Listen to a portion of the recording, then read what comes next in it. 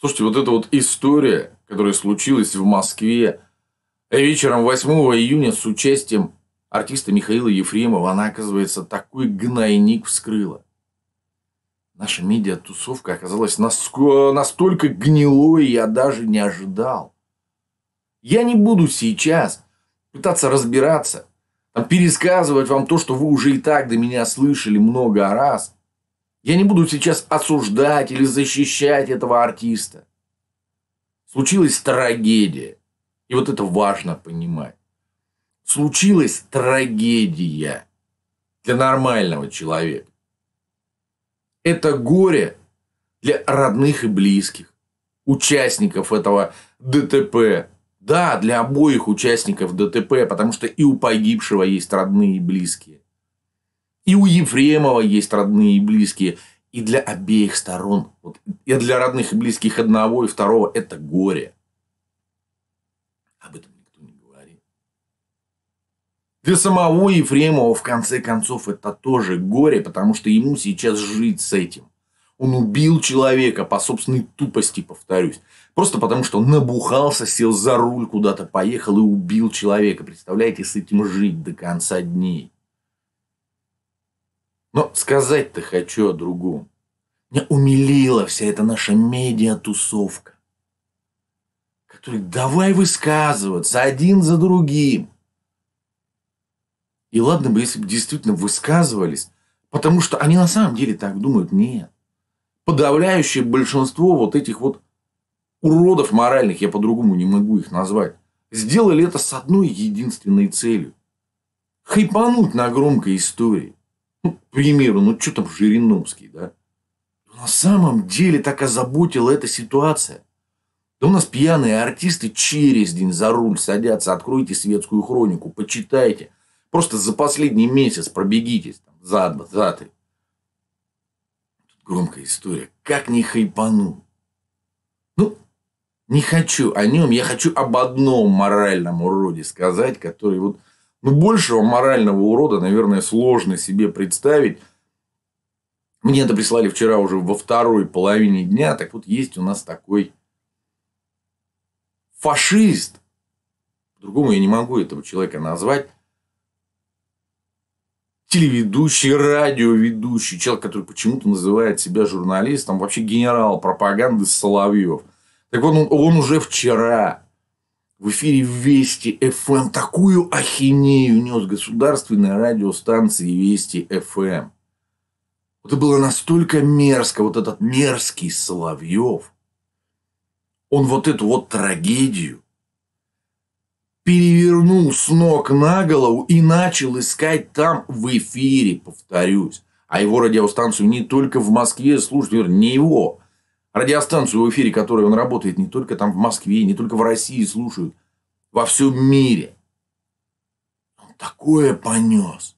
Он то политику прикрутил. Я просто хочу, чтобы вы это послушали. Там буквально фрагментик. И почувствовали, э, поймали то же самое чувство омерзения, которое поймал я. Ну, начинайте оправдывать его. Начинайте, либеральные скоты, его оправдывать. У него же денег, да какого-то. Вот гражданин-убийца, я его вылечу. У меня денег до какого-то, понимаете?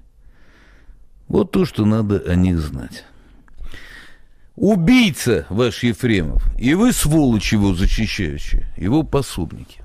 Это сектантская псевдооппозиционная солидарность, которая здесь возникает, на самом деле это большая общественная угроза, сопоставимая, между прочим, с той угрозой и тем преступлением, которое совершил сам э, Ефремов. Он же еще кокетничает. Он же еще играется, он ну, да. вылечит. У него же, понимаешь, он же привык к сволочуга. И это, кстати говоря, философия. Вот вся эта либерасная сволота привыкла, что деньги решают все, что они могут откупиться. Они все не мелепомению служат, а золотому тельцу, вот этой либерасная сволота. А Ефремов яркий представитель либерасной сволоты. То есть, понимаете, ребят, это до какой степени нужно вообще никакой совести не иметь, чтобы даже, даже в такой ситуации попытаться прогнуться перед своими хозяевами, заработать себе каких-то очков, а может быть и не только очков. Ну как это называется? Он там дальше много раз произносит слово идеология. Так вот такая идеология, она по-другому как фашизм не называется. Человек, по сути, что он делает? Он разжигает в эфире ненависть в людях. Перевирает ситуацию абсолютно полностью. Причем, повторюсь, ситуация никакого отношения к политике не имеет. И я сейчас, как он там врал у себя – не пытаюсь защищать артиста Ефремова. Мне вообще наплевать на его политические убеждения. И в такой ситуации, я думаю, любому нормальному человеку должно быть наплевать. В данном случае надо понимать только одно. Повторюсь, случилась трагедия. Вы знаете, а самое обидное, что вот этот эфир, да, я уже посмотрел, послушал, мне прислали после определенной цепочки событий. То есть, проснувшись с утра, я там сидел, а, в чате нашей группы Крик ТВ мы общались как раз по поводу, а, в том числе и вот этой трагедии, обсуждали ее. Есть у нас один такой там пробитый ватник, зовут его Владимир, который начал мне прям там вот э, в чате, в переписке, не мне вообще, всем участникам чата, начал возражать, да, вот с точно такой же позиции. Да это вы, либерда, вы убиваете людей. Да потому что я еще тогда возмутился, думаю, господи, что должно быть в башке у этого человека, что даже в такой ситуации он вспоминает какую-то либерду, он вспоминает там кто за кого, он притягивает все это дело в политической плоскости за какие-то уши. Там, когда я послушал этот эфир, все встало на свои места. Да вот такая вот вата появляется только благодаря вот таким вот фашистам Соловьевым. Я слабо верю, что фашист Соловьев сам верит в то, что он несет, в ту пургу, которую он несет. Он же понимает, что он просто отрабатывает. Номер, деньги, заказ, что угодно. Понимает, что он несет пургу. Но в то же время он зомбирует. Он делает уродами вот этих вот несчастных ватников которую, как мне кажется, уже ни один психиатр не поможет. Ну, повторюсь, но такого человека даже животным нельзя назвать, который действительно в ситуации. Вот в подобной ситуации начинает вспоминать про каких-то либерастов и нелиберастов, нести какую-то вот такую ахинею, только моральный урод на такое способен. Теперь представляете, сколько таких ватников, которых Соловьев и ему подобные делают моральными уродами. Если провести параллель, да, с той же Великой Отечественной войной, с, тем же, с теми же фашистами, немецкими фашистами, которых так любят вспоминать пропагандисты. Давайте честно. Людей в печах кто жег-то? Не лично ведь Гитлер, не лично там Геринг, Геббельс и так далее. Это делали простые, обычные немцы. Он вчера, этот немец, еще работал там продавцом в мясной лавке или в бакалейном магазине. Он вчера был еще простым банковским служащим, ну, в смысле, еще до войны, имеется в виду. Водителем такси, может быть. Абсолютно приветливым, замечательным человеком, который протягивал руку кому-то, приглашал его куда-то на барбекю, на пикник.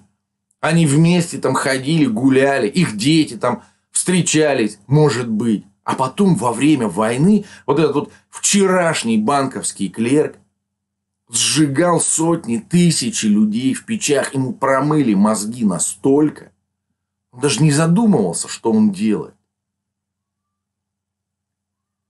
И с ним все это, ему промыли мозги. И вот Соловьев, по сути, ему подобные, занимаются тем же самым. Делают из россиян моральных уродов. К чему я все это дело записываю сегодня? Вот, друзья, некоторое время назад ко мне обратился клирик.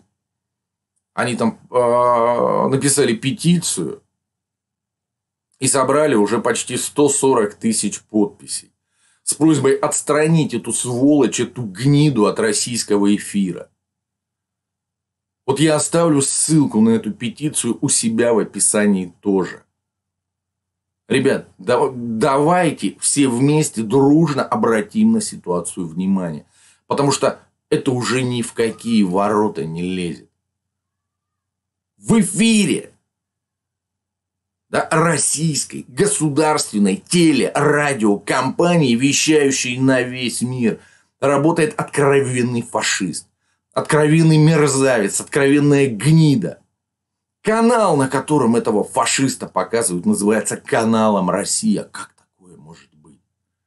Повторюсь, 140 тысяч человек уже подписались. Давайте обратим на ситуацию внимание. Конечно, хозяева этого фашиста будут пытаться затихарить. Да, вот эту нашу петицию, но если все дружно, мы поднимем вой. Эти гниды проводят 24 июня парад победы. Я не собираюсь участвовать в таком параде победы, когда на канале «Россия», когда в эфире ВГТРК, в эфире радиостанций, принадлежащих государственной структуре ВГТРК сидят откровенные фашисты и делают русских людей, россиян, простите, российских граждан моральными уродами, превращая их в такое же говно, которое мы якобы победили когда-то. Нет, не победили, оказывается. А вообще вот так вот задуматься, да? Еврей фашист. Слушайте, если бы я это сказал своему деду, фронтовику, он сказал, Саша, не неси пургу. Ну, не бывает такого, чтобы фашист и еврей. Я думаю, если бы я это сказал евреям в свое время, еврей-фашист, да ладно, ты что? Более того, я чем уверен, сами фашисты, они бы обалдели, если бы узнали, что фашистом может быть еврей.